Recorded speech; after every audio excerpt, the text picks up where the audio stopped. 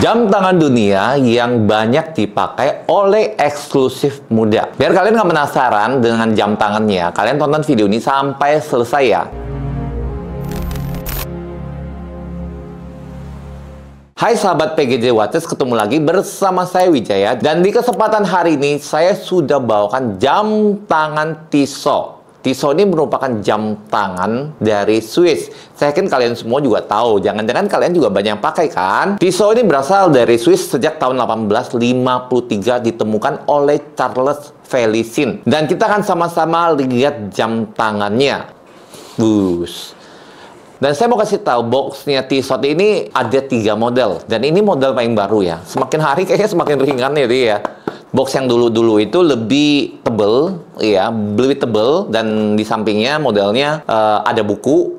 Terus box berikutnya dia modelnya agak kotak tinggi seperti itu dan dia ada tiga model kotak dan ini setahu saya ini yang paling baru kotaknya. Yang penting sih kita yang paling penting sih jam tangannya tetap harus kualitasnya sama. Dan ini adalah Tissot PRX yang kalian tunggu-tunggu. Ini adalah Tissot PRX yang banyak dipakai eksklusif muda. Saya kasih tahu nomor serinya ya. Dengan nomor seri T137 407 16 041 kosong-kosong. Dan ini warna dialnya punya dua warna. Kalian bisa lihat sendiri. Ke kiri dia berubah, ke kanan dia berubah. Jadi kombinasi warna dialnya hitam dengan warna biru. Tergantung dengan posisi kamu melihatnya. Kalau kalian posisinya dari depan agak dekat, jadi kelihatan warna biru. Kalau kalian jauhin kayak gini, nah itu jadinya warna hitam. Dan ini automatic ya. Jadi namanya ini adalah PRX Powermatic 80. Untuk diameter dia sendiri, dia tidak terlalu besar dan tidak terlalu kecil. Untuk sampai crownnya dia diameternya 4.2. Dan, dan ini bodinya tipis sekali ya. Tuh. Bodinya juga tipis sekali, elegan ya, mewah. Makanya tadi saya bilang ini banyak dipakai oleh eksklusif muda. Dan harga sendiri, dan ini juga harganya sangat terjangkau sekali bagi-bagi kalian yang misalnya baru pertama kali mau memiliki jam tangan Swiss harganya itu sekitar 10 juta lewat sedikit lah ya, nggak terlalu banyak. Di pasaran sih rata-rata masih jual sekitar 13 sampai 15 juta. Dan ini kulitnya kulit asli itu lihat tuh. Di belakangnya juga ada tulisan Tissot 1853 dan backcase-nya kalian juga bisa lihat dia open backcase.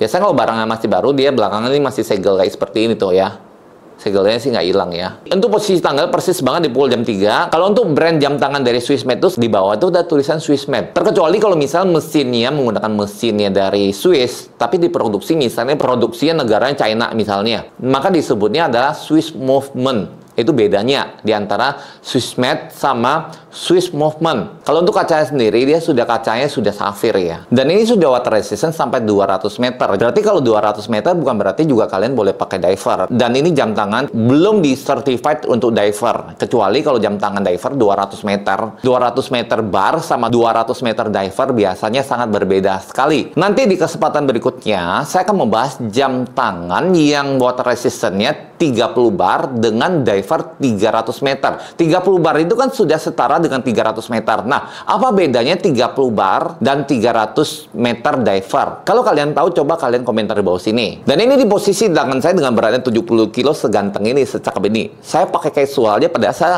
padahal saya pakai kaos aja ini masih kelihatan bagus banget tuh, lihat. Cakep banget ya. Apalagi kalau misalnya kalian pakai misalnya pakai kerja, pakai pesta, ini masih masuk banget, masih bagus banget. Kecuali kalau kalian pakai renang udah pasti nggak bagus ya karena ini kan bahannya kulit ya. Kalau kalian pakai renang mau kulit sebagus apa pun ini pasti rusak kalau kalian pakai renang. Apalagi kalian pakai kulit buaya itu tetap akan rusak ya kecuali buayanya. Kalau dari saya dari keseluruhan jam tangan Tissot PRX 80 ini memang kelihatannya eksklusif mewah elegan buat kaula muda. Tapi kalau misal usianya, kalau misal usia udah 50, 60, mau, mau pakai masih oke okay nggak? Oke okay banget kok. Masih tetap keren, masih tetap mewah kelihatannya, vintage lagi kelihatannya. Untuk jam tangan harga 10 jutaan, dapatnya Swiss. Dan ini brand juga sudah terkemuka juga di dunia. Saya rasa ini harganya juga masih bisa kalian jangkau lah ya. Kalau belum kejangkau, kalian nabung dulu ya. Oke, okay, untuk video selanjutnya kira-kira kalian mau saya bahas video apa? Kalian juga boleh komentar di sini ya. Biar saya semakin semangat untuk membuat membuat video berikutnya, kalian jangan lupa like, subscribe, share video ini.